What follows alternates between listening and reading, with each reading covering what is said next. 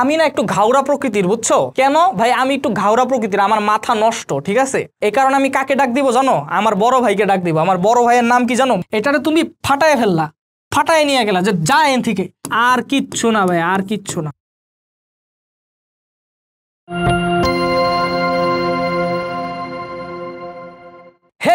আসসালামু আলাইকুম। গত ক্লাসে আমরা আলোক নির্ভর পর্যায় শেষ করে ফেলছি, ঠিক আছে? সো আলোক নির্ভর পর্যায় শেষ হইলে পরে কি আসে? আলোক নিরপেক্ষ পর্যায়। তাহলে আজকে আমরা পড়ব আলোক নিরপেক্ষ পর্যায় নিয়ে। চলো আমরা একটু দেখি আলোক নিরপেক্ষ পর্যায় আসলে হয়টা কি। আমরা ছোটবেলায় কি পড়ছিলাম? উদ্ভিদ শালক সংশ্লেষণ প্রক্রিয়ায় কার্বন ডাইঅক্সাইড গ্রহণ করে এবং অক্সিজেন ত্যাগ করে, রাইট? তাহলে ভাইয়া, এখন আমরা কি পড়তেছি? শালক সংশ্লেষণ নিয়ে পড়তেছি। তাহলে শালক সংশ্লেষণ প্রক্রিয়ার কোনো না কোনো পর্যায়ে তো ভাইয়া কার্বন ডাইঅক্সাইড উদ্ভিদের গ্রহণ করতে হবে, তাই না? তাহলে দেখো, এই যে সেই কার্বন ডাইঅক্সাইড, যেই কার্বন ডাইঅক্সাইডটা উদ্ভিদ ধরো বাতাস থেকে গ্রহণ করছে। সেই কার্বন ডাইঅক্সাইডকে আমি এনএডিপিএইচ আর এটিপি এর সহায়তায় ধাপে ধাপে বিজারণ করে ফাইনালি কিসে কনভার্ট করলাম? গ্লুকোজে কনভার্ট করলাম। তো আলোক নিরপেক্ষ পর্যায়ে অ্যাকচুয়ালি এই ঘটনাটাই ঘটে। কার্বন ডাইঅক্সাইড উদ্ভিদ কই থেকে গ্রহণ করে?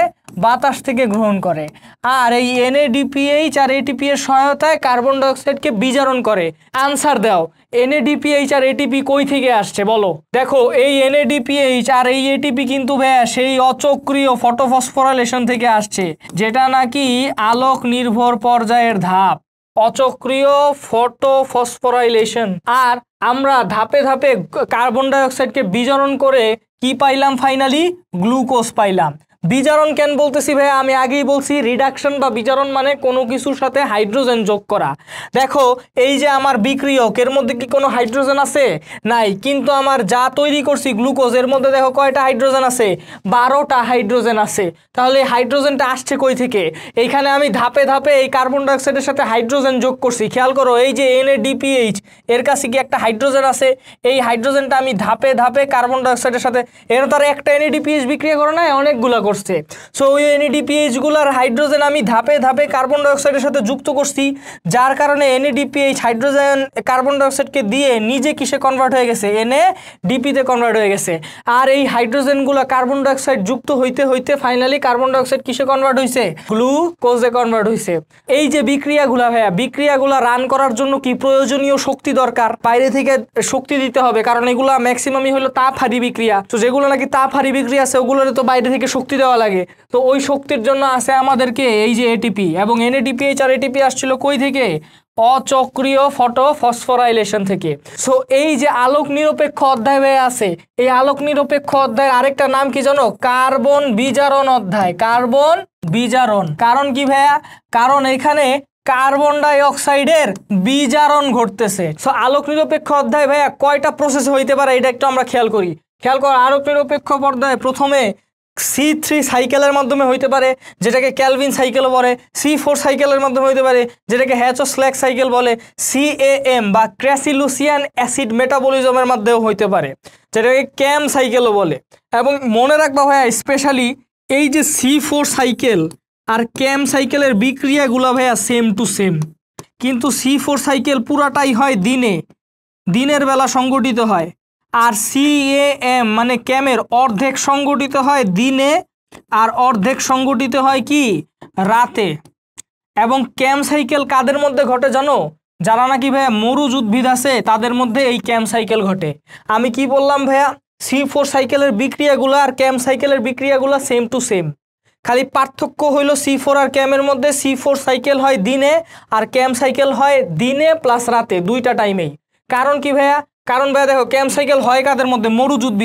মরুজ উদ্ভিদের পত্ররন্ধ্র, এটা কি দিনের বেলা খোলা থাকে? অবশ্যই না। মরুজ উদ্ভিদের পত্ররন্ধ্র খোলা থাকে কি? রাতের বেলা। তাহলে সে কার্বন ডাইঅক্সাইড কখন গ্রহণ করতে পারবে? দিনের বেলা নাকি রাতের বেলা? রাতের বেলা। তাহলে সে রাতের বেলা কার্বন ডাইঅক্সাইড গ্রহণ করে কিছু যৌগ তৈরি করে এবং বাকি বিক্রিয়াগুলো সে দিনের বেলা যখন অচক্রিয় ফটোফসফোরেশন হয় তখন করে। সো ক্যাম হইল এরকম দুই ভাগে করে। অর্ধেক সালোক সংশ্লেষণ করে দিনের বেলা, অর্ধেক সালোক সংশ্লেষণ করে রাতের বেলা। মানে রাতের বেলা সে কার্বন ডাইঅক্সাইড গ্রহণ করতে পারে। কারণ আমরা জানি সালোক সংশ্লেষণের জন্য কার্বন ডাইঅক্সাইড কি অনেক দরকার। রাতের বেলা যেহেতু সে কার্বন ডাইঅক্সাইড গ্রহণ করতে পারে, তাই কার্বন ডাইঅক্সাইড গ্রহণ করে সে একটা যৌগ তৈরি করে রাইখা দেয় এবং দিনের বেলা যখন সূর্যালোকের উপস্থিতিতে আলোক নির্ভর প্রক্রিয়া সংঘটিত হয় এটিপি আর এনএডিপিএস তৈরি হয়, তখন সেইগুলা ইউজ করে বা ওই কার্বন যৌগটাকে বিজারণ করে। আমরা আগে এখন একটা সাইকেল পড়ব, যেটা হলো খুবই ইম্পর্টেন্ট সেটার নাম হলো সি থ্রি সাইকেল বা ক্যালভিন সাইকেল খেয়াল করো, এই সাইকেলটা কিন্তু ভাইয়া অনেকগুলা ধাপে সংগঠিত হয়। ছয় চক্রে ভাইয়া অণু গ্লুকোজ তৈরি হয়, ঠিক আছে? ছয়টা চক্র সংগঠিত হওয়া লাগে অণু গ্লুকোজ তৈরি করতে হইলে। দেখো ভাই আমি একদম সিম্পলি জিনিসটাকে বোঝাবো, ধাপ বাই ধাপ বোঝাবো। বইয়ের মধ্যে কিন্তু ভাইয়া দেখাইছে একটা চক্র হয়েই গ্লুকোজে যাইতেছে, কিন্তু না, এই চক্রটা কিন্তু ছয়বার ভাইয়া ঘুরে, ছয়বার ঘুরা তারপরে হইল নিচের দিকে যায়। দেখো, আমি একটু দেখাই তাহলেই বুঝতে পারবা। খেয়াল করো আমরা আমরা এখন কি করব? কার্বন বিজারণ করব। সো এই কার্বন বিজারণের জন্য সবার আগে আমার কি দরকার? কার্বন ডাইঅক্সাইড দরকার। বা তুমি যদি একটু হাসান স্যারের বইয়ে খেয়াল করো যে সি থ্রি সাইকেল চালানোর জন্য বা সি থ্রি সাইকেল শুরু করার জন্য তোমার দুইটা উপাদান দরকার। একটা হলো কার্বন ডাইঅক্সাইড, আরেকটা হলো ribulose one five bis phosphate এই দুইটা উপাদান তোমার সি থ্রি সাইকেল চালানোর জন্য দরকার।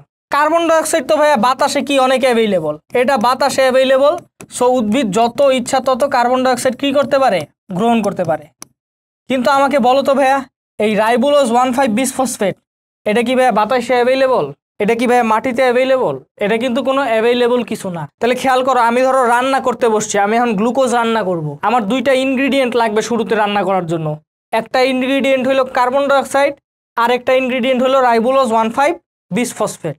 এখন একটা ইনগ্রিডিয়েন্ট আমার কাছে অ্যাভেলেবল আছে, সেটা হলো বাতাসে অ্যাবান্ডেন্ট পরিমাণে আছে। সো একটা ইনগ্রিডিয়েন্ট আমার অ্যাভেলেবল কিন্তু সেকেন্ড যে ইনগ্রিডিয়েন্টটা যেটা ribulose one five bis phosphate ওটা কি অ্যাভেলেবল ওটা কিন্তু অ্যাভেলেবল না। তাহলে যেহেতু আমাদের কাছে এই ইনগ্রিডিয়েন্টটা নাই, তাহলে আমরা কি করব। অন্য কারও কাছ থেকে কি করব। ধার করব।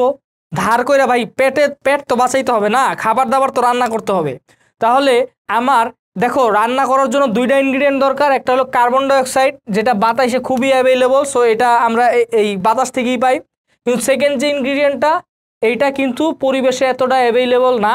সো তুমি যদি রান্না চালাইতে চাও, তাহলে তোমার কি করতে হবে? এইটা অন্য কারও কাছ থেকে কি করা লাগবে? ধার করা লাগবে বা ঋণ করা লাগবে, তাই না? তাহলে দেখো সি থ্রি সাইকেল চালানোর আগে উদ্ভিদও সেই কাজটাই করে। সি থ্রি সাইকেল শুরু করার জন্য উদ্ভিদের দুইটা উপাদান দরকার। একটা হলো কার্বন ডাইঅক্সাইড আর ribulose one five bis phosphate এখন উদ্ভিদের কাছে একটা উপাদান খুবই অ্যাভেলেবল সেটা হলো কার্বন ডাইঅক্সাইড সে বাতাস থেকে গ্রহণ করতে পারে। কিন্তু ribulose one five bis phosphate তো উদ্ভিদের কাছে অ্যাভেলেবল এটা কি বাতাসে অ্যাভেলেবল বা মাটিতে এত অ্যাভেলেবল না। সো এটা আনঅ্যাভেলেবল মানে এতটা বেশি অ্যাভেলেবল না। তাই উদ্ভিদ কি করে? উদ্ভিদ তার বডিরই কোনো একটা পার্টের কাছ থেকে এই ribulose one five bis phosphate ধার নেয় বা ঋণ নেয় যেটা নাকি তার বডির সেই পার্টকে আবার ফেরত দেওয়া লাগবে। তা না হইলে বডির সেই পার্টের বিপাক ক্রিয়া কী হবে? ব্যাহত হবে। সো উদ্ভিদ কি করে সি থ্রি সাইকেল চালানোর জন্য বাতাস থেকে কার্বন ডাইঅক্সাইড নেয়? আর তার বডিরই কোনো একটা পার্ট থেকে এই রাইবোলোজ ওয়ান ফাইভ বিসফসফেট কী করে? ধার করে বা ঋণ করে। যেটা নাকি পরবর্তীতে বডির সেই পার্টকে দিয়ে দেওয়া লাগবে, নইলে কিন্তু বডির সেই পার্ট মারা যাবে, কারণ ওরও তো রান্না করা লাগবে, তাই না? আচ্ছা এখন খেয়াল করো, এই রাইবোলোজ ওয়ান ফাইভ বিসফসফেট এটার নামটা একটু ভাঙো। খেয়াল করো ribulose one five bisphosphate ribulose পাঁচ কার্বন বিশিষ্ট একটা কার্বোহাইড্রেট রাইবোলোজ হইল পাঁচ কার্বন বিশিষ্ট একটা কার্বোহাইড্রেট তাহলে এখানে আমি পাঁচটা কার্বন দিছি, হাইড্রোজেন আর অক্সিজেন এগুলো দেখাই নাই। জাস্ট পাঁচটা কার্বন দিয়ে বুঝাইছি যে রাইবোলোজ হইল একটা পাঁচ কার্বন বিশিষ্ট কার্বোহাইড্রেট আর ওয়ান ফাইভ বিস ফসফেট মানে কি? ওয়ান ফাইভ বিস ফসফেট মানে হইল ভাইয়া এক নাম্বার কার্বন, খেয়াল করো, এটা পাঁচ কার্বন বিশিষ্ট কার্বোহাইড্রেট না তাহলে এটা হইল কি, এক নাম্বার সাপোজ আমি ধরলাম এটা এক নাম্বার, এটা দুই নাম্বার, এটা তিন নাম্বার, এটা চার নাম্বার, এটা পাঁচ নাম্বার। তাহলে one comma five bis phosphate মানে কি জানো? এক নাম্বার কার্বন আর পাঁচ নাম্বার কার্বনের সাথে এই যে দেখো ফসফেট যুক্ত আছে। অর্থাৎ রাইবুলোজ হইল এই পাঁচ কার্বন বিশিষ্ট একটা শর্করা। এই রাইবুলোজের এক নাম্বার কার্বনের সাথে আর পাঁচ নাম্বার কার্বনের সাথে ফসফেট যুক্ত করলে আমি পাবো ribulose one five bis phosphate কথা বুঝতে পারছ? ধরো এটা হলো রাইবুলোজ এক, দুই, তিন, চার, পাঁচ। এইটা হলো পাঁচ কার্বন বিশিষ্ট শর্করা যেটা হলো রাইবুলোজ এটার পাঁচ নাম্বার কার্বনের সাথে একটা ফসফেট আর এক নাম্বার কার্বনের সাথে আরেকটা ফসফেট। দুইটা যুক্ত করলে আমি কি পাবো?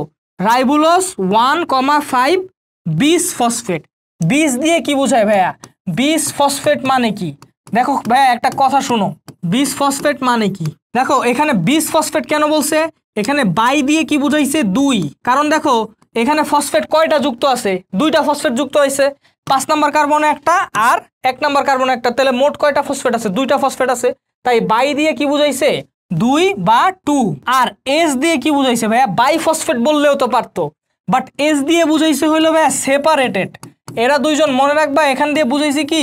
সেপারেটেড তার মানে এরা দুইজন দুই প্রান্তে আছে। অর্থাৎ এ এক প্রান্তে আছে, এ আরেক প্রান্তে আছে। এটা কিন্তু এমন না যে পাঁচ নাম্বার কার্বন একটা ফসফেট আছে আর চার নাম্বার কার্বন আর একটা ফসফেট আছে। এরকম না ভাইয়া, এরকম পাশাপাশি না। তারা যা, যাই আছে, তারা দুই প্রান্তে আছে। অর্থাৎ এক নাম্বার কার্বন আর পাঁচ নাম্বার কার্বন মানে দূরে সেপারেটেড অবস্থায় আছে। তাই এটা দিয়ে বুঝাবা, এটা দিয়ে কি বুঝাইছে? বিশ ফসফেট। তাহলে রাইবুলোজের দুই প্রান্তে যখন তুমি দুইটা ফসফেট যুক্ত করবা, তখন সেটা হয়ে যাবে কি? Ribulose one five bis phosphate. গেল, শেষ। সো আমরা দেখলাম যে উদ্ভিদ সি থ্রি সাইকেল শুরু করার জন্য দুইটা ইনগ্রিডিয়েন্ট লাগবে। সেটা হলো এক একটা ইনগ্রিডিয়েন্ট হলো কার্বন ডাইঅক্সাইড সে বাতাসে যেটা অ্যাভেলেবল পায়। আরেকটা ইনগ্রিডিয়েন্ট হলো কি? রাইবোলোজ ওয়ান ফাইভ বিসফসফেট সে যেটা নাকি সে তার বডির কোনো একটা পার্ট থেকে কি করবে? ঋণ করবে বা ধার করবে। এখন যখন নাকি তুমি ভাই এই দুইটা ইনগ্রিডিয়েন্ট দিয়ে রান্না শুরু করবা, যেটা নাকি গ্লুকোজ রান্না করবে হ্যাঁ?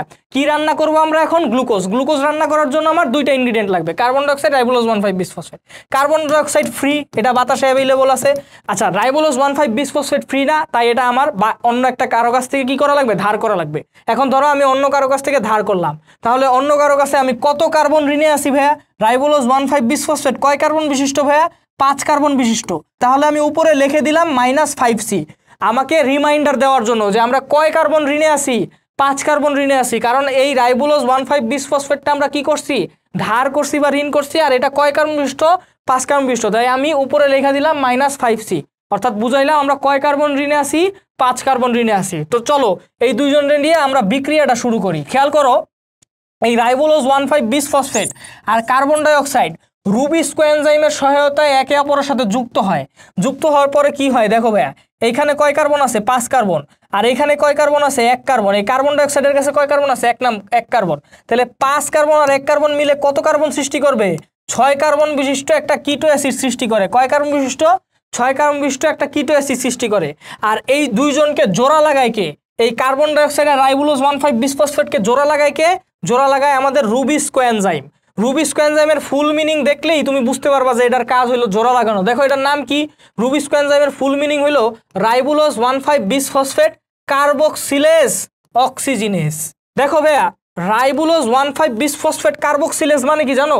এই rubis coenzyme ribulose one five bis ফসফেটের সাথে কার্বন যুক্ত করতে পারে বা কার্বন ডাইঅক্সাইড তো আসলে কার্বনই। কার্বন ডাইঅক্সাইড কি কার্বন বহন করে না? তাহলে কার্বক্সিলেজ মানে হইল কোনো একটা কিছুর সাথে কার্বন যুক্ত করা বা কার্বন ডাইঅক্সাইড অ্যাকচুয়ালি যুক্ত করা। ওটারে কি বলে? ওই এনজাইমটাকে কি বলব? কার্বক্সিলেজ এনজাইম যে এনজাইম নাকি কোনো একটা যৌগের সাথে কার্বন ডাইঅক্সাইড যুক্ত করে ওই এনজাইমকে আমি কি বলব? কার্বক্সিলেজ এনজাইম তাহলে দেখো রুবিস্কোর নামের মধ্যেই আছে। দেখো রুবিস দিয়ে বুঝাইছে কি? Ribulose one five bis phosphate আর সি দিয়ে বুঝাইছে কার্বক্সিলেস ও দিয়ে বুঝাইছে অক্সিজেনেস তাহলে রুবিস এনজাইম হলো এমন একটা এনজাইম যে নাকি এই রুবিস বা রাইবোলোজ ওয়ান ফাইভ বিশ ফসফেটের সাথে কার্বক্সিলেস অর্থাৎ কার্বন ডাইঅক্সাইড যোগ করতে পারে। আবার অক্সিজেনেস মানে কি? অক্সিজেনও যোগ করতে পারে। তাহলে অক্সিজেন যোগ করার কাহিনীটা আমরা পরে পড়ব, কিন্তু এইখানে সে কোন ডিউটিটা পালন করতেছে? সে কি কার্বক্সিলেজের ডিউটি পালন করতেছে না অক্সিজেনের ডিউটি পালন করতেছে? অ্যান্সার হলো সে কার্বক্সিলেজের ডিউটি পালন করতেছে। অর্থাৎ সে কার্বন যুক্ত করতেছে বা কার্বন ডাইঅক্সাইড যুক্ত করতেছে। তো রুবিস্কোয়ের সাথে কার্বন ডাইঅক্সাইড যুক্ত করল, পাইলাম আমরা কি? Keto acid. ছয় কার্বন বিশিষ্ট কিটো অ্যাসিড পাইলাম। এখন ভাইয়া কথা হইল, এই যে ছয় বিশিষ্ট কিটো অ্যাসিডটা পাইলাম না ভাইয়া, এটা না জোর নাই, বুঝছ? এটা জোর নাই, এটা স্থায়ী না, এটা অস্থায়ী। তাহলে ভাইয়া, যেহেতু এটা অস্থায়ী, তাই এটা না কি করবে জানো? এটা মাঝখান থেকে ভেঙে যাবে। মাঝখান থেকে পানির উপস্থিতিতে আর্দ্র বিশ্লেষিত হয়ে কি হবে জানো? ভেঙে যাবে। অর্থাৎ এই কিটো অ্যাসিড যেহেতু অস্থায়ী, তাই এ না এরকম মাঝখান থেকে কি হয়? ভেঙে যায়। এখন ভাই মাঝখান থেকে যদি এরকম ভেঙে যায়, তাহলে তুমি দুই কার্বন বিশিষ্ট দুইটা যৌগ পাবা। দেখো, এইখানে একটা যৌগ পাবা আর এইখানে আরেকটা যৌগ পাবা। খেয়াল করো ভাই এই হলো ছয় কার্বন বিশিষ্ট কিটো অ্যাসিড। এই অ্যাসিডটা ভাইয়া না স্থায়ী না, অস্থায়ী একটা যৌগ। তাহলে অস্থায়ী যৌগর তো বেশি দিন টিকা থাকার সম্ভাবনা নাই। তাই সে কি হয় ভাইয়া, মাঝখান বরাবর ভেঙে যায়, ঠিক আছে? পানির উপস্থিতিতে আর্দ্র বিশ্লেষিত হয়। অর্থাৎ এখানে কি যুক্ত হয়? পানি যুক্ত হয়। পানি এটারে কি করে? এটারে বলে হাইড্রোলাইসিস বা আর্দ্র বিশ্লেষণ। পানির মাধ্যমে এটা মাঝখান থেকে ভেঙে যায়। ভেঙে গেলে দাও, এই সাইডে তিন কার্বন আর এই সাইডে তিন কার্বন। বিশিষ্ট একটা যৌগ পাবা তিন কার্বনের সাথে আবার কি আছে? এই সাইডে তিন কার্বনের সাথে একটা ফসফেটও আছে, আবার এই সাইডে তিন কার্বনের সাথে একটা ফসফেট মানে দুইটা সিমিলার টাইপের কি পাবা? যৌগ পাবা, যদি মাঝখান থেকে ভেঙে যায়। এই সিমিলার টাইপের যৌগের নাম ভাইয়া তুমি কি দিবা বলো?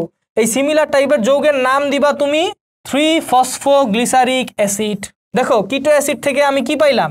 এখানে ফসফোগ্লিসারিক অ্যাসিড পাইলাম। কিন্তু এটার নাম থ্রি ফসফোগ্লিসারিক অ্যাসিড কেন দিলাম আমি নামটা? খেয়াল করো।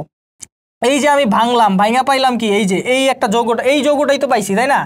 এই যৌগ আর এই যৌগ দুইটা তো সেমই এই যৌগটাই তো এই যৌগ, তাই না? এবং এটা কয় অনু পাবো ভাইয়া? দুই অণু পাবো। কারণ দেখো, মাঝখান থেকে ভাঙা গেছে, তাহলে এই সাইডে এক অণু, এই সাইডে এক অণু, দুই অনু পাবো। তাহলে দুই অণু ফস, থ্রি ফসফো গ্লিসারিক অ্যাসিড পাবো। কেন এটার নাম থ্রি ফসফো গ্লিসারিক অ্যাসিড হইল? খেয়াল করো ভাইয়া, এটা হইল এর এক নাম্বার কার্বন, এটা হলো দুই নাম্বার কার্বন, এটা হলো তিন নাম্বার কার্বন। এটা একটা অ্যাসিড কারণ তুমি মনে রাখবা, এই কিটো অ্যাসিড ভাঙলে ভাই অ্যাসিডই পাবো, অন্য কিছু পাবো না। এটা তো পানি দিয়েই ভাঙছি। ভাঙলে অ্যাসিড থেকে কি পাবো? অ্যাসিডই পাবো। সো এটা আমরা মনে রাখব, এটা একটা অ্যাসিড থ্রি ফসফোগ্লিসারিক কেন বললাম? থ্রি ফসফোগ্লিসারিক বললাম, কারণ এটা ভাই তিনটা কার্বন আছে, আর তিনটা কার্বনের তিন নাম্বার কার্বনের সাথে কি আছে? ফসফেট যুক্ত আছে। তিন নাম্বার কার্বনের সাথে ফসফেট যুক্ত থাকার কারণে এটার আমি নাম দিছি থ্রি ফসফো গ্লিসারিক কেন বললাম ভাইয়া? তিন কার্বন বিশিষ্ট তিন কার্বন বিশিষ্ট কার্বোহাইড্রেটকে বলে গ্লিসারালডিহাইড খেয়াল করো, গ্লিসারলের সংকেত কিন্তু তোমরা সবাই এতদিনে যাই না থাকার কথা। গ্লিসারল কীরকম দেখতে ভাইয়া বলো তো? এটা কি গ্লিসারল না? এটা কি ভাই গ্লিসারল? গ্লিসারল কিন্তু এক ধরনের অ্যালকোহল। এই কারণেই দেখবা এর নামের সাথে অল আছে, ঠিক আছে? গ্লিসার অল এটা এক ধরনের অ্যালকোহল। এবং অ্যালকোহল কেমনে বুঝলাম? এই দেখো, হাইড্রক্সিল গ্রুপ আছে। যেই যৌগের সাথে হাইড্রক্সিল গ্রুপ থাকবে, ওইটারই আমরা কি বলব? অ্যালকোহল বলব। সো গ্লিসারল হলো এক ধরনের অ্যালকোহল। এখন একটা জিনিস খেয়াল করো। তোমরা জৈব যৌগে একটা জিনিস পড়বা, যে অ্যালকোহলকে যখন আমরা জারণ করি, জারণ মানে কি? অক্সিজেন যুক্ত করা, অক্সিডেশন করা। তখন আমরা পাই অ্যালডিহাইড। কি পাই? অ্যালডিহাইড পাই। অ্যালডিহাইড নামর যৌগ পাই। অ্যালকোহলের কার্যকরী মূলক হলো ওএইচ অর্থাৎ ওএইচ থাকলে বুঝবা অ্যালকোহল। আর অ্যালডিহাইডের কার্যকরী মূলক হলো সিএইচও অর্থাৎ সিএইচও থাকলে বলবা যে এটা অ্যালডিহাইড। তাহলে দেখো, এটা তো গ্লিসারল এটা একটা অ্যালকোহল তাহলে এই অ্যালকোহলরে যদি আমরা জারণ করি, জারণ কীভাবে করব? এই যে অক্সিজেনের উপস্থিতিতে কি করে দিব? জারণ করে দিব। জারণ করলে আমরা কি পাবো? আমরা পাবো অ্যালডিহাইড এই যে দেখো, এইটা হইল সেই অ্যালডিহাইড এই দেখো, এটার মধ্যে কিন্তু অ্যালডিহাইড গ্রুপ আছে। তাই এটারে কি বলে জানো? এটার নাম কি ছিল? গ্লিসারল এটার নাম কি ছিল ভাইয়া? আর এটার নাম হবে গ্লিসার গ্লিসারেলডিহাইড গ্লিসারেলডিহাইড কারণ কি? এটা এক ধরনের অ্যালডিহাইড আরও একটা জিনিস তোমরা পড়বা, সেটা হলো এই যে ভাই অ্যালডিহাইড না? এই অ্যালডিহাইডে যখন তুমি জারণ করবা ফার্দার জারণ করবা, তখন তুমি কি পাবা জানো? তখন তুমি পাবা গ্লিসারিক অ্যাসিড পাবা। খেয়াল করো, আমি একটু দেখাই। ধরো একটা মজার জিনিস, এই অ্যালডিহাইডে যদি তুমি ফার্দার জারণ করো, অর্থাৎ অ্যালডিহাইডকে যদি তুমি অক্সিজেনের উপস্থিতিতে ফার্দার জারণ করো, তখন তুমি কি পাবা জানো? একটা অ্যাসিড পাবা, একটা জৈব অ্যাসিড পাবা। তাহলে খেয়াল করো, এর এটা আমার কাছে কি আছে যে সিএইচও মানে কি? এটা গ্লিসারাল ডিহাইড এই গ্লিসারাল ডিহাইডে যখন আমি ফার্দার আরও জারণ করব ঠিক আছে আরও জারণ করব। ধরো অ্যালকোহলরে জারণ করছি, আমি কি পাইছি? অ্যালডিহাইড এই অ্যালডিহাইডে আমি আবার জারণ করলাম, তখন আমি পাবো গ্লিসারিক অ্যাসিড এই যে দেখো, এই হইল সেই গ্লিসারিক অ্যাসিড কিছুই না ভাইয়া জাস্ট কার্যকরী মূলক চেঞ্জ আর কিছুই না। আর কিচ্ছু না ভাইয়া, আর কিচ্ছু না। এখন খেয়াল করো, এই হলো সেই গ্লিসারিক অ্যাসিড তাহলে মনে রাখবা ভাইয়া গ্লিসারল যদি হয় তিন কার্বন বিশিষ্ট অ্যালকোহল তাহলে গ্লিসারিক অ্যাসিড কয় কার্বন বিশিষ্ট অ্যাসিড হবে? অবশ্যই আমি গ্লিসারলকে ধাপে ধাপে জারণ করে যেহেতু গ্লিসারিক অ্যাসিড পাইছি, তাহলে গ্লিসারল যদি তিন কার্বন বিশিষ্ট অ্যালকোহল হয়, গ্লিসারিক অ্যাসিড তিন কার্বন বিশিষ্ট অ্যাসিড হবে। দেখো তো ভাইয়া, এই যে থ্রি ফসফো গ্লিসারিক অ্যাসিড, এর কয় কার্বন ভাইয়া? দেখো তো, এক, দুই, তিন কার্বন, ঠিক আছে? তাহলে আমি বুঝাইতে পারছি ভাইয়া থ্রি ফসফো গ্লিসারিক অ্যাসিডের নাম, কেন থ্রি ফসফো গ্লিসারিক অ্যাসিড হয়েছে তাহলে আমি বুঝাইতে পারছি ভাইয়া থ্রি ফসফো গ্লিসারিক অ্যাসিডের নাম, কেন থ্রি ফসফো গ্লিসারিক অ্যাসিড হয়েছে দেখো থ্রি ফসফো হয়েছে কারণ কি? থ্রি ফসফো হয়েছে কারণ এটার তিন নাম্বার কার্বনে, এক নাম্বার, দুই নাম্বার, তিন নাম্বার কার্বন। এই তিন নাম্বার কার্বনে ফসফেট যুক্ত আছে, তাই এটার নাম হয়েছে থ্রি ফসফো আর গ্লিসারিক অ্যাসিড হয়েছে কেন? তিন কার্বন বিশিষ্ট অ্যাসিডকে কি বলে? গ্লিসারিক অ্যাসিড এটা একটু আগে আমরা দেখলাম যে গ্লিসারল হলো তিন কার্বন বিশিষ্ট অ্যালকোহল ওইটাকে যদি আমি জারণ করি, তাহলে কি পাবো? তিন কার্বন বিশিষ্ট একটা অ্যালডিহাইড পাবো গ্লিসারলডিহাইড ওইটারে আমি আবার জারণ করলে তিন কার্বন বিশিষ্ট একটা অ্যাসিড পাবো, এটাকে বলে গ্লিসারিক অ্যাসিড সো এই তিন কার্বন বিশিষ্ট গ্লিসারিক অ্যাসিড আমি পেয়ে গেলাম। অচক্রিয় ফটোফসফোরেশনে মনে আছে কি তৈরি হয়েছিল? এটিপি তৈরি হয়েছিল আর এনএডিপিএইচ তৈরি হয়েছিল। তাহলে এই অচক্রিয় ফটোফসফোরাসে যে এটিপি তৈরি হয়েছে, ওইটা কাজে লাগানোর টাইম এখন আইসে পড়ছে, ঠিক আছে? এই দেখো, অচক্রিয় ফটোফসফোরেশনে এটিপি যেটা তৈরি হয়েছে, ওইটা তুমি এখন নিয়ে আসো। এই এটিপির কাছ থেকে ট্রাইফসফেট কয়টা ফসফেট আছে? তিনটা ফসফেট আছে ট্রাইফসফেট তাহলে এটিপির কাছ থেকে তুমি একটা ফসফেট বাইর করো। বাইর করে তুমি এর এক নাম্বার কার্বনের সাথে যুক্ত করে দাও। যুক্ত করে দিলে তুমি কি পাবা এই জায়গায়? এই জায়গায় তুমি পাবা এরকম একটা জিনিস। দেখো, এক, দুই, তিন, কি বলছি? এই ট্রাইফসফেট থেকে তুমি একটা ফসফেট বের করো, যার কারণে এটা কিসে কনভার্ট হবে? ডাইফসফেটে কনভার্ট হবে এডিপিতে কনভার্ট হবে। এটিপির থেকে একটা ফসফেট বের করলে সেটা এডিপিতে কনভার্ট হয়। ধরো কনভার্ট হলো এডিপিতে তাহলে এই এডিপিতে কনভার্ট হলো, এই ফসফেটটা তুমি এক নাম্বার কার্বনের সাথে যুক্ত করো। যুক্ত করলে কি হবে? এটা এইরকম একটা যৌগে পরিণত হবে। এখন এই যৌগটার নাম তুমি নিজে নিজে ভাবো, কি হইতে পারে? দেখো, এক নাম্বার আর তিন নাম্বার কার্বনে ফসফেট আছে। তাহলে কি বলবা? ওয়ান কমা থ্রি আর কয়টা ফসফেট আছে? দুইটা ফসফেট আছে। দুইটা ফসফেট দুই প্রান্তে আছে। তাহলে যখন দুইটা ফসফেট থাকে, তখন আমরা বলি বাই। আর দুই প্রান্তে আছে দেখে আমি কি বলি? বিশ। তাহলে দেখো, দুইটা ফসফেট দুই প্রান্তে আছে। তাহলে আমি কি বলব? ওয়ান কমা থ্রি, বিশ ফসফো। দেখছ? বিশ ফসফো। কারণ কি দুইটা ফসফেট আছে, দুই প্রান্তে আছে। এক আর তিন নাম্বার কার্বন আছে। তাহলে কি বলব? ওয়ান কমা থ্রি, বিশ ফসফো গ্লিসারিক অ্যাসিড। হইল? হয়ে গেল কিন্তু, ঠিক আছে? আচ্ছা একটা তোমাকে একটা ট্রিক শিখাইলাম না যে অ্যালকোহলকে জারণ করলে কি পাওয়া যায়? অ্যালডিহাইড পাওয়া যায়। অ্যালডিহাইডকে ফার্দার জারণ করলে কি পাওয়া যায়? অ্যাসিড পাওয়া যায়। এবার আমার অ্যান্সার দাও। অ্যাসিডরে বিজারণ করলে কি পাওয়া যাবে? জারণ আর বিজারণ একে অপরের উল্টা প্রক্রিয়া না? তাহলে অ্যাসিডরে বিজারণ করলে কি পাওয়া যাবে? অ্যালডিহাইড পাওয়া যাবে আর অ্যালডিহাইডের বিজারণ করলে কি পাওয়া যাবে? বলো সরি এটা ও হবে। সো অ্যালডিহাইডের বিজারণ করলে কি পাওয়া যাবে? বলো। অ্যালডিহাইডের বিজারণ করলে পাওয়া যাবে অ্যালকোহল। তাহলে খেয়াল করো, অ্যালকোহলকে জারণ করলে, অ্যালকোহলকে যখন আমি জারণ করব, তখন অ্যালডিহাইড পাবো, অ্যালডিহাইডের জারণ করলে অ্যাসিড পাবো। যদি উল্টা যাই, অ্যাসিডকে বিজারণ করলে অ্যালডি অ্যাসিডকে বিজারণ করলে অ্যালডিহাইড পাবো, অ্যালডিহাইডকে বিজারণ করলে অ্যালকোহল পাবো। সো এরকম একটা ক্রম তোমরা মনে রাখবা। আচ্ছা মনে রাখবা ভাইয়া, যেখানে নাকি ফসফেট যুক্ত বিযুক্ত করার কাহিনী আছে, ওইখানে কাইনেজ এনজাইম কাজ করে, ঠিক আছে? কাইনেজ এনজাইম ফসফেট যুক্ত বা বিযুক্ত করার, যেখানে দেখবা এটিপি ইউজ হয়েছে অর্থাৎ এটিপি ফসফেট দিছে বা নিছে, ওই জায়গায় দেখবা কাইনেজ নামের কোনো না কোনো এনজাইম আছে। আচ্ছা এখন খেয়াল করো ভাই, এখন একটা জিনিস খেয়াল করো। এই যে অচক্রিয় ফটোফসফোরেশনে কি তৈরি হয়েছিল? এটিপি তৈরি হয়েছিল। আর কি তৈরি হয়েছিল? এনএডিপিএইচ এটিপিরে আমি ইউজ করছি। এবার আমি ইউজ করব কি? এনএ ডিপিএইচকে এনএ ডিপিএইচ কি। করবে? তার যে একটা হাইড্রোজেন আছে না, এই হাইড্রোজেন এই ওয়ান থ্রি বিস ফসফোগ্লিসারিক অ্যাসিডকে দিয়ে দিবে। এবং নিজে সে কিসে কনভার্ট হবে? এনএ ডিপিতে কনভার্ট হবে। কিন্তু ভাইয়া, যেই হাইড্রোজেনটা সে যুক্ত করল one three bis phosphoglyceric acid অ্যাসিডের সাথে, হাইড্রোজেন যুক্ত করা মানে কি? ওয়ান থ্রি বিস ফসফোগ্লিসারিক অ্যাসিডের বিজারণ ঘটানো। আমি জানি কোনো কিছুর সাথে হাইড্রোজেন যুক্ত করা মানে সেই জিনিসের কি ঘটানো? বিজারণ ঘটানো। তাহলে এনএডিপিএস যখন হাইড্রোজেনটা ওয়ান থ্রি বিস ফসফোগ্লিসারিক অ্যাসিডকে দিল, তখন সে কি করল? এনএ এই ওয়ান থ্রি বিস ফসফোগ্লিসারিক অ্যাসিডের বিজারণ ঘটাইলো। আর ওয়ান থ্রি বিস ফসফোগ্লিসারিক অ্যাসিডের বিজারিত হইলে কি পাবা বলো তো ভাই কি পাবা? দেখো one three bis phosphoglyceric acid কি? একটা অ্যাসিড না? অবশ্যই একটা অ্যাসিড এই অ্যাসিড একটা জৈব অ্যাসিড আর আমরা জানি জৈব অ্যাসিডে যখন বিজারণ করব, তখন আমরা কি পারব? তখন আমরা পাবো ভাইয়া অ্যালডিহাইড। তাই না? একটু আগে আমরা দেখছি যে এই যে দেখো, এই কার্বক্সিলিক অ্যাসিডকে বিজারণ করলে পাওয়া যায় অ্যালডিহাইড আর অ্যালডিহাইডকে বিজারণ করলে পাওয়া যায় অ্যালকোহল। তেমনি অ্যালকোহলকে জারণ করলে পাওয়া যায় অ্যালডিহাইড আর অ্যালডিহাইডকে জারণ করলে পাওয়া যায় কার্বক্সিলিক অ্যাসিড সো এটা যেহেতু একটা অ্যাসিড তাহলে অ্যাসিডে যখন তুমি হাইড্রোজেন দিবা এনএডিপিএস এর কাছ থেকে, তার মানে সে বিজারিত হবে। বিজারিত হইলে আমি অ্যাসিড থেকে কি পাবো? একটা অ্যালডিহাইড পাবো। এই যে পাইছি সেই অ্যালডিহাইড। অ্যালডিহাইডের নাম কি? তিন কার্বন বিশিষ্ট একটা অ্যালডিহাইড। তাহলে তিন কার্বন বিশিষ্ট অ্যালডিহাইডের নাম কি হবে? Glyceraldehyde. কিন্তু ভাইয়া না, এই গ্লিসার অ্যালডিহাইডের তিন নাম্বার কার্বনে কিন্তু একটা ফসফেট যুক্ত আছে। তাহলে এবার এটার নাম কি হবে? Glyceraldehyde three phosphate. এবার আসো। গ্লিসার অ্যালডিহাইড থ্রি ফসফেট তারই একটা সমানু ডাইহাইড্রক্সি অ্যাসিটন ফসফেটে কনভার্ট হয়ে যায়। এই গ্লিসারডিহাইড থ্রি ফসফেট আর ডাইহাইড্রক্সি অ্যাসিটন ফসফেট, এটা কিন্তু ভাইয়া একে অপরের সমানু। দেখো, এনে গ্লিসারডিহাইড থ্রি ফসফেট কয় অণু পাইছিলা? দুই অণু পাইছিলা। এই দুই অণুর মধ্যে এক অণু না অটোমেটিক্যালি ডাইহাইড্রক্সি অ্যাসিটন ফসফেটে কি হয়ে যায়? কনভার্ট কনভার্ট হয়ে যায়। এটা হলো একে অপরের কি? সমানু। ঠিক আছে? এটা এখানে একটা আইসোমারাইজেশন রিয়াকশন হয়েছে আর এদের মধ্যে একটা উভমুখী সিচুয়েশন থাকে। অর্থাৎ এইটা এটাতে কনভার্ট হয়, এটা এটাতে কনভার্ট হয়। এভাবে হইতে থাকে, একটা একটাতে কনভার্ট হইতে থাকে। অর্থাৎ আমরা বলতে পারি যে অ্যাট এ টাইমে যদি চিন্তা করো, দুইটার কনসেন্ট্রেশন বা দুইটার পরিমাণ কি থাকে? সমান থাকে। এখন ভাইয়া খেয়াল করো, এই গ্লিসারডিহাইড থ্রি ফসফেটের তিন কার্বন আছে আর ডাইহাইড্রক্সি অ্যাসিটনের তিন কার্বন আছে। দুইটা ভাইয়া যুক্ত করে দাও তো, খেয়াল করো তো, দুইটা যুক্ত করে দাও। এই গ্লিসারডিহাইডের থ্রি কার্বন আর ডাইহাইড্রক্সি অ্যাসিটন ফসফেটের থ্রি কার্বন যুক্ত করে দাও। তুমি কি কি পাবা? ছয় কার্বন বিশিষ্ট একটা যৌগ পাবা তিন আর তিনে কত? ছয় কার্বন বিশিষ্ট যৌগ পাবা আর ছয় কার্বন বিশিষ্ট কার্বোহাইড্রেট দুইটাই আছে, দুইটাই তোমরা পড়ো। সেটা হলো একটা হলো গ্লুকোজ, আর একটা কি? ফ্রুক্টোজ। দয়া করে এই জায়গায় মনে রাখবা যে এই ক্ষেত্রে আমি কি পড়ব? ফ্রুক্টোজ পড়ব, ঠিক আছে? এখনও গ্লুকোজ তৈরি হয় না গ্লুকোজ পরে করব। বাট মনে রাখো, তিন আর তিন মিলে কত হয়? ছয় কার্বন বিশিষ্ট একটা যৌগ হয়। ছয় কার্বন বিশিষ্ট যৌগ বা কার্বোহাইড্রেটের নাম কি?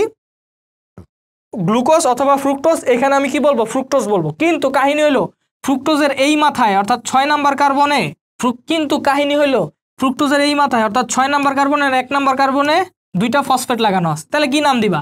Fructose one comma six bis phosphate. খুবই ইজি ভাইয়া। Fructose one comma six bis phosphate. কারণ এর এক নাম্বার কার্বন আর ছয় নাম্বার কার্বনে কি লাগানো আছে? ফসফেট লাগানো আছে। তাই এটার নাম কি হয়ে যাবে? Fructose one six bis phosphate. Aldolase enzyme ভাইয়া অ্যালডোলেজ এনজাইম এইখানে সহায়তা করে। এই বিক্রিয়ায় অ্যালডোলেজ এনজাইম সহায়তা করে। এখন তুমি বলবা, ভাইয়া, প্রত্যেকটা বিক্রিয়ার এনজাইমের সাথেই তো বিক্রিয়কের নামের টামের মিল থাকে। কিন্তু এই অ্যালডোলেজের নামের সাথে তো বিক্রিয়া বা বিক্রিয়কের কোনো সম্পর্কই না এটা কেমন একটা নাম? এই জায়গায় তো ভাইয়া গ্লিসালডিহাইড ও ডাইহাইড্রক্সি অ্যাসিটন যুক্ত হয়েছে দুইটার নামের সাথে তো এলডি অ্যালডোজের নামের কোনো মিলই নাই। অ্যালডোলেজের নামের কোনো মিলই নাই। তাহলে এই এনজাইমের নাম অ্যালডোলেজ কেন হয়েছে কারণ ভাই এই যে গ্লিসালডিহাইড আর ডাইহাইড্রক্সি অ্যাসিটন একে অপরের সাথে যুক্ত হয়েছে এটা এক ধরনের অ্যালডল ঘনীভবন বিক্রিয়া। এই কারণে এই নামটা কি হয়েছে অ্যালডোলেজ হয়েছে খেয়াল করো, এটা হলো ডাইহাইড্রক্সি অ্যাসিটন এটা হলো গ্লিসালডিহাইড এই গ্লিসালডিহাইডের এই যে সিএইচও এটা কি গ্রুপ ভাইয়া? সিএইচও গ্রুপ দেখো সিএইচও তাহলে এটা কি একটা অ্যালডিহাইড গ্রুপ আর এইখানে দেখো, এর কি আছে? একটা অ্যালকোহল গ্রুপ আছে। তো এই অ্যালডিহাইড গ্রুপ আর অ্যালকোহল গ্রুপের মধ্যে একটা ঘনীভবন বিক্রিয়া হয়। এই সো এই অ্যালডিহাইড গ্রুপ আর অ্যালকোহল গ্রুপ একত্রে কি হয়? জয়েন হয়। জয়েন হয়ে একটা ঘনীভবন বিক্রিয়া হয় এবং তৈরি হয় fructose one six bis phosphate তো এইখানে যেহেতু অ্যালডিহাইড গ্রুপ আর অ্যালকোহল গ্রুপ যুক্ত হয়, তাই এই বিক্রিয়াটার নাম দেয় অ্যাল্ড অল এই অ্যালডিহাইড গ্রুপের অ্যাল্ড আর অ্যালকোহল গ্রুপের কি? অল তাহলে অ্যালডিহাইড গ্রুপ আর অ্যালকোহল গ্রুপের মধ্যে যে ঘনীভবন বিক্রিয়াটা হয়, ওইটারে বলে অ্যালডল ঘনীভবন বিক্রিয়া। বুঝতে পারছ? আর এই বিক্রিয়ায় কোন এনজাইম কাজ করবে? অ্যালডো লেজ এনজাইম কাজ করবে, ঠিক আছে? সো এইটা ছিল ভাইয়া প্রথম চক্র, অর্থাৎ প্রথম চক্রে এই ঘটনাটা ঘটে। আচ্ছা প্রথম চক্রে আরও একটা ঘটনা ঘটে, সেটা হলো এই ফ্রুক্টোজ ওয়ান সিক্স বিস ফসফেটের কাছ থেকে তুমি যদি একটা ফসফেট ফাটায় নিয়ে যাও, অর্থাৎ fructose one six bis phosphate কি, দুইটা ফসফেট আছে না? এক নাম্বার কার্বন ছয় নাম্বার কার্বনে সাপোজ তুমি এক নাম্বার কার্বনের ফসফেটটা ঠাস করে ফাটায় নিয়ে গেলা, তখন ওইটা কিসে কনভার্ট হবে? ওয়ান সিক্স বিস ফসফেট খেয়াল করো। ধরো এর এক নাম্বার কার্বনে একটা ফসফেট আছে ছয় নাম্বার কার্বনে আরেকটা ফসফেট আছে। তুমি কি করলা? এই যে এক নাম্বার কার্বনের যে ফসফেটটা আছে না, এই এক নাম্বার কার্বনের ফসফেটটা, এটারে তুমি ফাটায় ফেললা। ফাটায় নিয়ে গেলা, যে যা এন থেকে। ফাটায় নিয়ে গেলে এটা কিসে কনভার্ট হবে বলো তো? এটা তোমার কনভার্ট হবে ফ্রুক্টোস সিক্স ফসফেটে খেয়াল করো, এটা কিসে কনভার্ট হবে? ফ্রুক্টোজ সিক্স ফসফেটে কারণ তখন তার একটা ফসফেটই থাকবে। আর এখানে যে এনজাইমটা কাজ করে, সেই এনজাইমটার নাম হইল ফস ফাটেজ এনজাইম কারণ কি সে ফসফেটকে ফাটায় নিয়ে যায়, ঠিক আছে? ফসফেট এখানে একটা থাকে, ওইটারও তুমি ঠাস করে ফাটায় নিয়ে গেলা, তখন এটা কিসে কনভার্ট হবে ফ্রুক্টোজ সিক্স ফসফেট শুধু ছয় নাম্বার কার্বনই ফসফেট থাকবে। এক নাম্বার কার্বনের ফসফেট তুমি ফাটায় ফেলবা। সো এইটুকু ছিল ভাইয়া প্রথম চক্রের বিক্রিয়া। অর্থাৎ সি থ্রি সাইকেলের এইটা ছিল হইল প্রথম চক্র। প্রথম চক্রে আমরা কি পাইলাম? প্রথম চক্রে আমরা পাইলাম ফ্রুক্টোজ সিক্স ফসফেট এইটাই আমাদের অর্জন। প্রথম চক্রের এই যে ইনগ্রিডিয়েন্টগুলো এই ইনগ্রিডিয়েন্টগুলো ইউজ করে এই যে বিক্রিয়া টিক্রিয়া কইরা টইরা ফাইনালি কি পাইলাম? ফাইনালি পাইলাম ফ্রুক্টোজ সিক্স ফসফেট এটা হলো আমাদের প্রথম চক্রের অর্জন। এখন ভাইয়া দেখো, এখানে কালো কালি দিয়ে লেখা না। খেয়াল করো, আমি উপরে কিন্তু লিখছি, প্রথম চক্রগুলা কি হবে? কালো কালি হবে। দ্বিতীয় চক্রগুলা কি হবে? সবুজ কালি হবে। আর তৃতীয় চক্রগুলা কি হবে? লাল কালি হবে, ঠিক আছে? তাহলে এই গেল আমাদের প্রথম চক্রের বিক্রিয়াগুলো। আমরা এখন দ্বিতীয় চক্রে ঢুকবো। কিন্তু দ্বিতীয় চক্রে ঢোকার আগে ভাই, একটা জিনিস খেয়াল করো, প্রথম চক্রে যে বিক্রিয়াগুলো হয়েছে হওয়ার পরে, প্রথম চক্র চালানোর পরে আমার হাতে কি বাকি আছে? ফ্রুক্টোজ সিক্স ফসফেট বাকি আছে। এছাড়া আর কিছু বাকি আছে? না, বাকিগুলো সব বিক্রিয়া কইরা ফাইনালি ফ্রুক্টোজ সিক্স ফসফেট তৈরি করছে, ঠিক আছে? সো আমার হাতে আর কিছু বাকি নাই। আমি এই দুইটা ইনগ্রিডিয়েন্ট দিয়ে রান্না করতে করতে করতে করতে ফাইনালি ফ্রুক্টোজ সিক্স ফসফেট তৈরি করতে পারছি। এটা হলো প্রথম চক্রের বিক্রিয়া। এখন আমি আবার সেকেন্ড সাইকেল শুরু করব। এমন একটা জিনিস খেয়াল করো সেকেন্ড সাইকেল শুরু করার জন্য তোমার ভাইয়া আবার এক নাম্বার বিক্রিয়া ঘটাইতে হবে, দ্বিতীয় চক্র শুরু করার জন্য। এখন এক নাম্বার বিক্রিয়ার জন্য ভাইয়া আবার তোমার কি করা লাগবে? এই দুইটা ইনগ্রিডিয়েন্ট লাগবে, যার মধ্যে একটা হইল কি ফ্রি এই যে কার্বন ডাইঅক্সাইড এটা কি একদম ফ্রি তার আগে আমি বলে নেই, দেখো ভাইয়া উপরে দেখো, প্রথম চক্রের কালার কি আছে দেখো? কালো। এই কারণে আমি প্রথম সাইকেলের যত বিক্রি আছে, সব বিক্রিয়ার মধ্যে যে লেখাগুলা লেখাগুলা কি কালারে লিখছি? কালো কালারে লিখছি। সেকেন্ড সাইকেলের কালার কি হবে ভাইয়া? সবুজ। তাহলে আমি যা যা সবুজ কালারে লিখব, সব কি হবে? সেকেন্ড সাইকেলে হবে। আর থার্ড সাইকেলের কালার কি হবে ভাইয়া? লাল। তাহলে আমি যা যা লাল কালারে লিখব, সব হলো থার্ড সাইকেল লাগবে। এই জিনিসটা তোমরা একটু খেয়াল রাখবা, ঠিক আছে? সো প্রথম সাইকেল শেষ। এখন আমার হাতে কি আছে? ফ্রুক্টোজ সিক্স ফসফেট এখন আমি আবার সিমিলার ভাবে সেকেন্ড সাইকেল শুরু করব। তাহলে দেখো সেকে ফার্স্ট সাইকেল শুরু করার জন্য আমার কি, কোন দুইটা ইনগ্রিডিয়েন্ট লাগছিল? কার্বন ডাইঅক্সাইড আর ribulose one five bis phosphate তাহলে ভাই, আবার সিমিলার ভাবে সেকেন্ড সাইকেল শুরু করার জন্য আবার আমার কি লাগবে? একটা কার্বন ডাইঅক্সাইড লাগবে, যেটা নাকি উদ্ভিদের বাতা, উদ্ভিদের জন্য যেটা নাকি বাতাসে অনেক অ্যাভেলেবল এবং সে কার্বন ডাইঅক্সাইড ইজিলি গ্রহণ করতে পারে। আবার আমার কি লাগবে? Ribulose one five bis phosphate লাগবে। এখন ribulose one five bis phosphate আমরা প্রথম সাইকেল শুরু করার জন্য কি করছিলাম? Ribulose one five bis phosphate ঋণ করছিলাম বা ধার করছিলাম, যার কারণে আমরা উপরে মাইনাস ফাইভ সি দিয়ে রাখছিলাম। দেখো তাহলে এটা কি আমাদের প্রথম সাইকেলের ঋণ?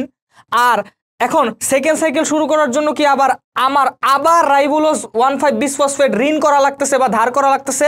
তাই আমি আবার কি দিব? মাইনাস ফাইভ সি দিব। তাহলে আমার মোট কত কার্বন ঋণ আছে বলতো? মোট দশ কার্বন আমরা ঋণে আছি। এই ঋণটা আমরা পরবর্তীতে কিন্তু পরিশোধ করতেই হবে, ঠিক আছে? তাহলে আমরা এই কার্বন ডাইঅক্সাইড আর ribulose one five bis phosphate এটা মিলে আবার ভাইয়া সেম বিক্রিয়া করব। এই সেম বিক্রিয়ার কারণে আবার সেই কিটো অ্যাসিড তৈরি হবে, আবার সেই থ্রি ফসফোগ্লিসারিক অ্যাসিড তৈরি হবে, আবার সেই one three bis phosphoglyceric acid তৈরি হবে, এবং ফাইনালি গ্লিসারাল ডিহাইড আর ডাইহাইড্রক্সি অ্যাসিটন তৈরি হবে। তাহলে খেয়াল করো সেকেন্ড সাইকেলে এখন আমার হাতে কি আছে? গ্লিসারাল ডিহাইড আর ডাইহাইড্রক্সি অ্যাসিটন আর প্রথম সাইকেলে আমি কি তৈরি করছিলাম? Fructose one six bis phosphate তাই প্রথম সাইকেলের পরে আমার হাতে এটা ছিল। এখন দেখো সেকেন্ড সাইকেলে তৈরি এই গ্লিসারালডিহাইড থ্রি ফসফেটের সাথে প্রথম সাইকেলে তৈরি ফ্রুক্টোজ সিক্স ফসফেট যোগ করো। যোগ করলে কি হবে? দেখো ফ্রুক্টোজ সিক্স ফসফেট ফ্রুক্টোজ কয় কার্বন বিশিষ্ট ভাইয়া? ছয় কার্বন বিশিষ্ট। আর গ্লিসারালডিহাইড থ্রি ফসফেট এটা কয় কার্বন? তিন কার্বন। তাহলে তিন আর ছয় মোট কত কার্বন হবে? নয় কার্বন। তাহলে আমরা এই ফ্রুক্টোজ সিক্স ফসফেট যেটা নাকি আমাদের প্রথম সাইকেলে তৈরি হয়েছিল, আর এই সেকেন্ড সাইকেলে তৈরি হওয়া গ্লিসারালডিহাইড থ্রি ফসফেট যোগ করে কি পাবো? আমরা নয় কার্বন বিশিষ্ট একটা যৌগ পাবো, ঠিক আছে? এখন দেখো, নয় কার্বন কি অনেক বড় একটা যৌগ না? এখন এত বড় যৌগ না নর্মালি স্টেবল হয় না। তো যেহেতু এটা স্টেবল হয় না, তাই নয় কার্বন কি মাঝখান থেকে ভেঙে যাবে। নয় কার্বন যদি তুমি মাঝখান থেকে ভেঙে যাও, তাহলে কি পাবা? সাড়ে চার সাড়ে চার করে পারবা? অবশ্যই না। এক সাইডে কি পাবা? এক সাইডে পাবা চার, আরেক সাইডে পাবা কি? পাঁচ। তাহলে তুমি নয় কার্বন বিশিষ্ট যৌগের মাঝখান থেকে বাংলে এক এক সাইডে কি? চার কার্বন বিশিষ্ট যৌগ তৈরি হবে এবং কি? এক সাইডে পাঁচ কার্বন বিশিষ্ট যৌগ তৈরি হবে। এখন ভাই খেয়াল করো, চার কার্বন বিশিষ্ট যৌগের নাম কি? Erythrose four phosphate. এটা আমরা কোষ রসায়নেও পড়ছি। মনে আছে? কোষ রসায়নে কিন্তু একটা লাইন ছিল, এরিথ্রোস ফোর ফসফেট ক্যালভিন চক্রে ভূমিকা পালন করে। এই সেই ভূমিকা। এখন খেয়াল করো, আমার হাতে তাহলে এখন কি আছে দেখো ফ্রুক্টো সিক্স ফসফেট এটা কিন্তু আমি বিক্রিয়াতে ইউজ করে ফেলছি। গ্লিসারালডিহাইড থ্রি ফসফেটও আমি বিক্রিয়াতে ইউজ করে ফেলছি। কিন্তু ডাইহাইড্রক্সি অ্যাসিটন কি আমি বিক্রিয়াতে ইউজ করছি? নো তাহলে আমি কি করব জানো? এই যে নয় কার্বন ভাইঙ্গা যে, এই যে চার কার্বন আর, চার কার্বন আর পাঁচ কার্বন হইল না, এই এরিথ্রোস ফোর ফসফেট যেটা নাকি চার কার্বন বিশিষ্ট যৌগ, এইটার সাথে আমি ডাইহাইড্রক্সি অ্যাসিটন যোগ করে দিলাম। যোগ করলে কি হবে? ডাইহাইড্রক্সি অ্যাসিটন কয় কার্বন তিন কার্বন আর এরিথ্রোস ফোর ফসফেট কয় কার্বন চার কার্বন তাহলে চার আর তিন যোগ করলে কত হবে? সাত কার্বন বিশিষ্ট একটা যৌগ পাবো। খেয়াল করো, এই সাত কার্বন বিশিষ্ট যৌগের নাম কি? সেডু হেপটুলোস। এই সেডু হেপটুলোস হলো সাত কার্বন বিশিষ্ট যৌগ। এটা আমরা কোষ রসায়নে পড়ছিলাম যে সাত কার্বন বিশিষ্ট কার্বোহাইড্রেটের নাম হলো সেডু হেপটুলোস, ঠিক আছে? কীভাবে পাইলাম ভাইয়া? এই যে দ্বিতীয় সাইকেলে আমাদের যে ডাইহাইড্রক্সি অ্যাসিটন তৈরি হয়েছিল, ওইটা আর আমাদের এই নয় কার্বন ভেঙে যে চার কার্বন তৈরি হয়েছিল এটা, তাহলে তিন আর চালে এটা মিলে কত পাইলাম? সাত কার্বন বিশিষ্ট একটা যৌগ পাইলাম, ঠিক আছে? আচ্ছা এটা এখানেই থাকুক। এখন এইখানে আসো। খেয়াল করো, নয় কার্বন ভেঙে কি পাঁচ কার্বন বিশিষ্ট একটা জাইলোলোস ফাইভ ফসফেট তৈরি হয়েছিল? তোমাদের একটা ইনফরমেশন দেই। জাইলুলোস আর রাইবুলোস কিন্তু একে অপরের আইসোমার বা সমানু। তাহলে তোমার হাতে যদি ভাইয়া জাইলুলোস ফাইভ ফসফেট থাকে তুমি কি এটাকে সমানুকরণ বিক্রিয়া কইরা রাইবোলস ফাইভ ফসফেট তৈরি করতে পারবা না? ইজিলি তৈরি করতে পারবা। কারণ কি? জাইলোলোজ আর রাইবোলোজ একে অপরের আইসোমার তাহলে তুমি এখন কি করবা? এই জাইলোলোজকে একটা আইসোমারাইজেশন রিয়াকশনের মাধ্যমে রাইবুলোজ ফাইভ ফসফেটে কনভার্ট করবা। দেখো জাইলোলোজ ফাইভ ফসফেট, এটা কনভার্ট হয়ে গেল কি? রাইবোলোজ ফাইভ ফসফেটে। কোন কোন এনজাইম এই বিক্রিয়াতে সাহায্য করল? অ্যান্সার হলো এপিমারেস এখন তোমরা অ্যান্সার কোয়েশ্চেন করবা, ভাইয়া, এখানে তো আইসোমারেজ এনজাইম হওয়ার কথা ছিল, যেহেতু একটা আইসোমারাইজেশন রিয়াকশন তাহলে এপিমারেস কেন বললাম? ভাইয়া এপিমার হইল এক ধরনের আলোক সমাণু তাহলে আইসোমার হইল টোটালি সমাণু সমাণুর মধ্যে কিন্তু অনেক টাইপ আছে। গাঠনিক সমাণু আছে, তারপরে কার্যকরীমূলক সমাণু আছে, আলোক সমাণু আছে। এপি মারটা হইল ভাইয়া স্পেশালি এক ধরনের আলোক সমাণু ঠিক আছে? অর্থাৎ ধরো ওই যে একটা ওইচ ডান সাইডে একটা ওইচ বাম সাইডে জাস্ট একটা এর পার্থক্যের কারণে এরকম সমানুতা ক্রিয়েট হয়। সো এটা অ্যাকচুয়ালি এক ধরনের আলোক সমাণু অর্থাৎ জাইলোলোজ আর রাইবোলোজ একে অপরের সমাণু ঠিক আছে? বাট কি টাইপের সমাণু আলোক সমাণু এই জাইলোলোজ আর রাইবোলোজ একে অপরের এপিমার এপিমার হইল এক ধরনের আলোক সমাণু তাহলে জাইলোলোজ এপিমারেজ এনজাইমের উপস্থিতিতে কিসে কনভার্ট হইল? রাইবোলোজ ফাইভ ফসফেটে কনভার্ট হইল। এখন ভাইয়া খেয়াল করো এই রাইবোলোজ ফাইভ ফসফেট থেকে তুমি ribulose one five bis phosphate আবার তৈরি করতে পারবা কিনা, দেখো তো। তোমার হাতে কি আছে? রাইবোলোজ ফাইভ ফসফেট মানে পাঁচ কার্বন বিশিষ্ট, পাঁচ নাম্বার কার্বনে কি আছে? একটা ফসফেট গ্রুপ আছে। তুমি খেয়াল করো তো, যদি তুমি পাঁচ নাম্বার কার্বনে তো একটা ফসফেট আছেই। যদি তুমি এক নাম্বার কার্বনেও এখানে একটা ফসফেট যোগ করে দাও, তাহলে এটা কি হয়ে যাবে? Ribulose one five bis phosphate হয়ে যাবে। স্বাভাবিক না? তোমার হাতে আছে রাইবোলোস ফাইভ ফসফেট এখন এইটার পাঁচ নাম্বার কার্বনে একটা ফসফেট আছে। এখন তুমি যদি এটার এক নাম্বার কার্বনে একটা ফসফেট যুক্ত করে দাও, তাহলে এটা কিসে কনভার্ট হয়ে যাবে? এই যে এটাতে কনভার্ট হইল না? Ribulose one five bis phosphate এক নাম্বার কার্বনেও ফসফেট আছে, পাঁচ নাম্বার কার্বনেও ফসফেট আছে। সো এই জিনিসটাই আমরা করব। আমরা কি করব? এই রাইবোলোস ফাইভ ফসফেটকে রাইবোলোস ওয়ান ফাইভ বিস ফসফেটে কনভার্ট করব। কি করব? এই এটিপির কাছ থেকে একটা ফসফেট নিব। আচ্ছা এটিপির কাছ থেকে যদি আমি একটা ফসফেট নেই, তাহলে এটিপি কিসে কনভার্ট হবে? ট্রাইফসফেট থেকে ডাইফসফেটে কনভার্ট হবে। আর এই ফসফেটটা নিয়ে আমি এই এক নাম্বার কার্বনে যুক্ত করে দিব। দেখো, এটা হলো পাঁচ নাম্বার কার্বন এই কার্বনটা হলো পাঁচ নাম্বার কার্বন আর এটা কি এক নাম্বার কার্বন তাহলে আমি জাস্ট ফসফেটটা নিয়ে এক নাম্বার কার্বনে যুক্ত করে দিব। তাইলে আমি এই জায়গায় কি পাবো? Ribulose one five bis phosphate so খেয়াল করো সেকেন্ড সাইকেল শেষে আমার হাতে কি কি আছে? রাইবোলোজ ওয়ান ফাইভ বিস ফসফেটকে আমি আবার তৈরি করতে পারছি। তাই না? একটু আগে তো এইটা তৈরি করলাম। তাহলে সেকেন্ড সাইকেল শেষে আমার হাতে কি কি আছে? Ribulose one five bis phosphate আছে। আর কি আছে? আরেকটা জিনিস ভুইলো না। এই যে দেখো সেডু হেপটুলোস এটা কি আমি ভাইয়া কোনো কাজে ইউজ করছি? এটা কি আমি কোনো বিক্রিয়া করছি? না। তাহলে সেকেন্ড সাইকেল শেষে আমার হাতে দুইটা যৌগ আছে। একটা হলো ribulose one five bis phosphate আর এটা কি? সেডু হেপটুলোস এইবার আমি থার্ড সাইকেল শুরু করব। তাহলে থার্ড সাইকেল শুরু করার আগে আমি একটু দেখে নেই। এখন আমি থার্ড সাইকেল শুরু করব। সো সেকেন্ড সাইকেলের এই দুইটা যৌগ আমার হাতে আছে। এখন দেখো থার্ড সাইকেল শুরু করার জন্য আমার আবার সেই প্রথমে দুই, যে দুইটা ইনগ্রিডিয়েন্ট নিয়ে আমি শুরু করছিলাম, ওইটা আমার আবার লাগবে। সেটা হলো কি কার্বন ডাইঅক্সাইড আর ribulose one five bis phosphate এখন কার্বন ডাইঅক্সাইড তো ভাই বাতাসে অ্যাভেলেবল এইবার আমি লাল কালার একটা কার্বন ডাইঅক্সাইড নিলাম। কারণ কি? এটা তিন নাম্বার সাইকেল তিন নাম্বার সাইকেলের কালার কি? লাল। এখন দেখো কার্বন ডাইঅক্সাইড বাতাসে অ্যাভেলেবল আর ribulose one five bis phosphate এটা কি আমার আবার ধার করা লাগতেছে? না, কারণ আমি সেকেন্ড সাইকেলে অলরেডি কি এটা পুনরুৎপাদন করতে পারছি। তাহলে আমার আর এবার কি করা লাগতেছে না? ধার করা লাগতেছে না, ঋণ করা লাগতেছে না। তাহলে এই সেকেন্ড সাইকেলে উৎপাদিত ribulose one five bis phosphate আর এইবার এই কার্বন ডাইঅক্সাইড নিয়ে আমি থার্ড সাইকেল কি করতে পারি? শুরু করতে পারি। শুরু করার পর ভাই, আবার সেই সেম বিক্রিয়াগুলো হবে। সেম বিক্রিয়া one three bis phosphoglyceric acid এবং ফাইনালি আবার আমি গ্লিসারালডিহাইড থ্রি ফসফেট পাবো, আবার কি ডাইহাইড্রক্সি অ্যাসিডন ফসফেট পাবো। এখন খেয়াল করো এই গ্লিসারালডিহাইড থ্রি ফসফেট কি? তিন কার্বন। আর আমার সেকেন্ড সাইকেল শেষে আমার হাতে কি ছিল? সেডু হেপটোলোস ছিল। এই সেডু হেপটোলোস কয় কার্বন? সাত কার্বন। তাহলে দেখো, তিন কার্বন আর এখানে কত কার্বন? সাত কার্বন। তিন আর সাত মিলাইলে কত হবে? দশ কার্বন। তাহলে তুমি কি করবা? এই গ্লিসারডিহাইড থ্রি ফসফেটটাকে এই সেডু হেপটোলোজের সাথে যুক্ত করে দিবা। যুক্ত করে দিলে কি হবে? এই সাত কার্বন বিশিষ্ট যৌগের সাথে তিন কার্বন বিশিষ্ট যৌগ যুক্ত করলে কত কার্বন যৌগ পাবা? দশ কার্বন বিশিষ্ট যৌগ পাবা। আচ্ছা একটু খেয়াল করো তো, আমরা কয় কার্বন ঋণে আসি কয় কার্বন আমরা ঋণে আসি দশ কার্বন আমরা ঋণে আসি তাহলে দেখো, এখন কিন্তু ঋণ আমার শোধ হয়ে গেল, ঠিক আছে? আমার আর ঋণের বোঝা বহন করা লাগল না। এই দশ কার্বন দিয়ে তুমি কি করবা জানো? ঋণ শোধ করবা, ধার শোধ করবা। তাহলে দেখো, এই দশ কার্বন দিয়ে তুমি বিভিন্নভাবে, বিভিন্ন বিক্রিয়ার মাধ্যমে ফাইনালি সেই যে ribulose one five bis phosphate কয়টা ধার নিছিলা? দুইটা ধার নিছিলা একটা রাইবোলোজ ওয়ান ফাইভ বিশ ফসফেটে থাকে পাঁচ কার্বন, তাহলে দুইটাতে কত থাকে? দশ কার্বন। তাহলে এই দশ কার্বন রে তুমি ফাইনালি দুইটা ribulose one five bis phosphate তৈরি করে তুমি ঋণটা শোধ করবা। কারণ ভাই, ঋণের বোঝা নিয়ে কেউ কি মরতে চায় না। সো আমরা কি ঋণের ঋণ শোধ করতেই হবে, ঠিক আছে ভাইয়া? আচ্ছা এখন খেয়াল করো। তাইলে এই হইল আমার তিনটা সাইকেল শেষ। তিনটা সাইকেল শেষে আমার হাতে কি বাকি থাকে বলো তো? থার্ড সাইকেল শেষে আমার হাতে কি বাকি থাকে বলো? এখানে যা আছে সব কিছুই কিন্তু তুমি ইউজ করে ফেলছো সব কিছুই বিক্রিয়া হয়ে গেছে। কিন্তু ভাইয়া গ্লিসারালডিহাইড থ্রি ফসফেট এটা কি কোনো বিক্রিয়া করছে এখনও? এটা কিন্তু এখনও কোনো বিক্রিয়া করে নাই।